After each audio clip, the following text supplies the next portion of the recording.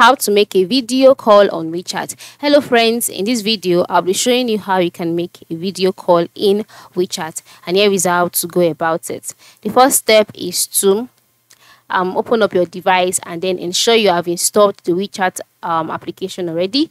Then just click on it in order to launch the application. So after launching the WeChat application, you will brought to the chat page. All right. Then once you're on the chat page, ensure you're on the chat page page because there are other options at the lowest lowest part of the screen which includes contacts discover me so ensure you are on the chat page then once you're on the chat page move to the top right corner and click on the plus icon after clicking on the plus icon, you can see some options such as um, new chat, um, you can see add contact, scan, money. Then click on new chat in order for you to go to your chat list and choose the contacts you want to video call.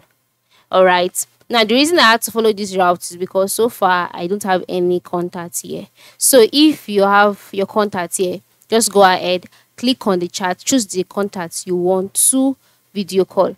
So since I don't have any contacts here, just scroll down to the lowest part and click on contacts and then click on new friends.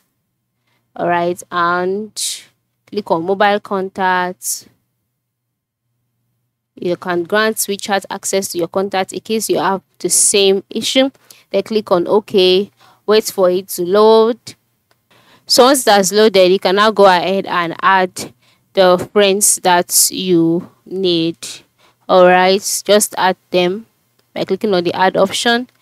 Alright.